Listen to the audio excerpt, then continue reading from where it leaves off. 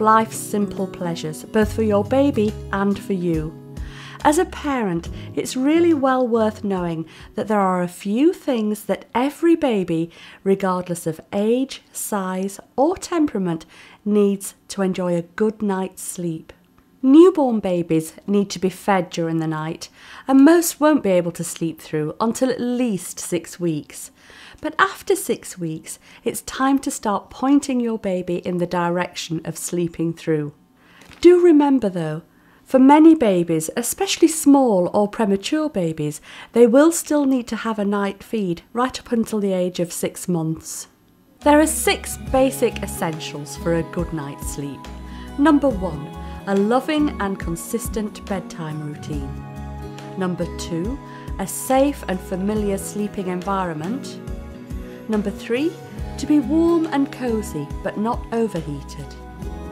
Number four, well managed daytime naps so that they're sleepy but not overtired at bedtime. Number five, to be well fed, winded, but not to have an over full tummy when they go to sleep. Number six, to fall asleep fully aware that they are in the cot. Introducing a good bedtime routine is the single most important thing that you can do to help your baby have a good night's sleep. It really is well worth making an effort with this because once the routine is established, it will make such a difference, not just to your baby's sleep, but also to you. The best bedtime routine provides a familiar series of steps leading up to bedtime, and each of these steps will become a sleep trigger for your child.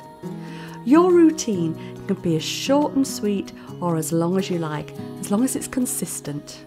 You should only begin your baby's bedtime routine when you know that she's ready to sleep. The process of the routine is much more important than the time at which it's carried out. So if they've slept late in the afternoon, it makes sense to put them to bed a bit later at night. Putting a baby to bed with too much energy to spare is likely to result in them crying out and calling for you, and it can even result in them developing negative associations with bedtime. So here's a great bedtime routine. Begin your routine shortly before you know that your baby is ready for sleep. Take everything that you need for the night with you to avoid having to come back into the living area. Follow a similar bedtime script by using familiar phrases, songs, and actions at key points during the routine. Bath every night unless there are genuine reasons why you can't, and sing the same action song in the bath each time. Then go directly to your baby's room after the bath, or to your room if your baby sleeps in there. Clean nappy, milk feed, a story or goodnight song, note that this should come after the feed. Then lights down and into the cot, awake but sleepy to settle for the night. When teaching your baby to sleep through the night, it goes without saying that their safety is of paramount importance. It is strongly advised that all parents follow the Safe to Sleep guidelines set out by the Foundation for the Study of Infant Deaths. You can find this information on their website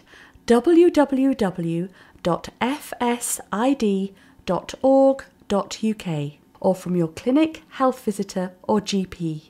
We know that the safest temperature for a baby's room should be 16 to 20 degrees centigrade, and it's recommended that parents use a room thermometer so that they can check that it's neither too hot nor too cold.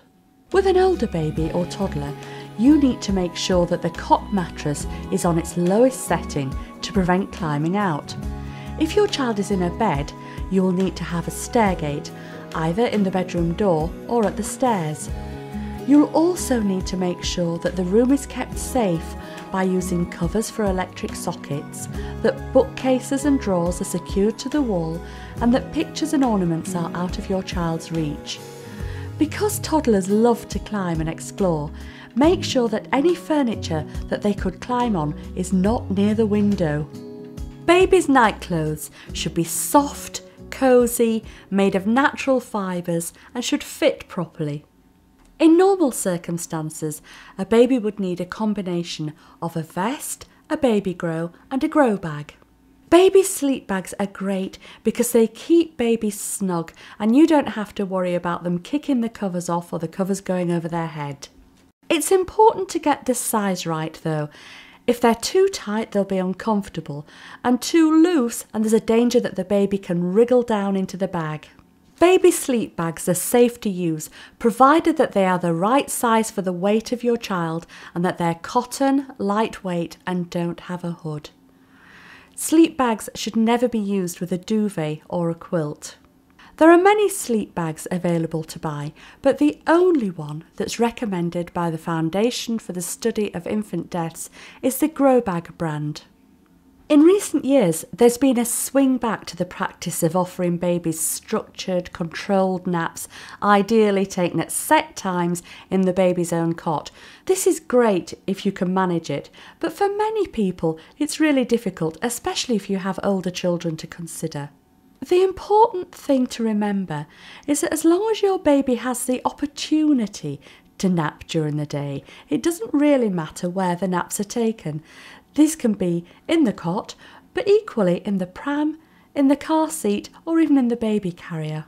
If you find it difficult to settle your baby into the cot for daytime naps, you should concentrate on developing the nighttime sleep skills first and then tackle the daytime naps.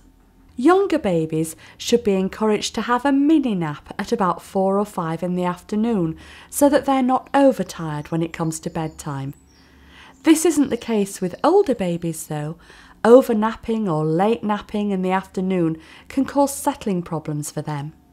It's lovely to give your baby a breast or bottle feed to help them to settle to sleep at night, but try not to let them fall asleep over the milk feed. That way, they won't need to feed again as a sleep trigger when they wake up later in the night. By discouraging a milk sleep association, you will help your baby to drop the night feeds when they're no longer nutritionally necessary, and you'll enable your baby to start sleeping through from an earlier age. Remember that by the age of six months, a night feed is hardly ever necessary, and in fact, continuing to feed after six months will only impair your baby's appetite for his solid foods during the day. The majority of babies' sleep problems are caused by them being either rocked or fed to sleep and not being put into the cot until they are fast asleep. Later on, when a baby wakes during the natural light phase of a sleep cycle, they're understandably upset to find themselves in a different place.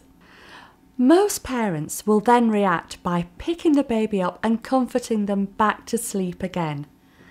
Remember, you can't prevent your baby waking up during the night, but what you can do is give your child the skills to be able to resettle themselves when they do wake. One of the many advantages of the Grobag is that you can put your baby down to sleep knowing that they're going to be the right temperature and that they're not going to kick off their covers.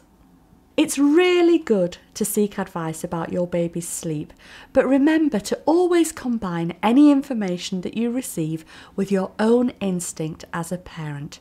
You want what is best for your baby, and you are the best person to decide the right routine for her.